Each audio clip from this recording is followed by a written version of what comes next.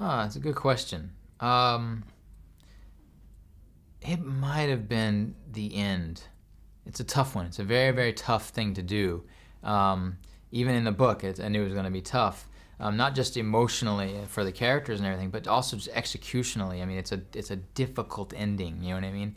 Um, and I think uh, I think hopefully that we we've got something that, that works well in terms of sort of setting up a saga, a larger story, but at the same time, you know, um, finding some element of conclusion to the story that we're telling, which is really about escape. You know.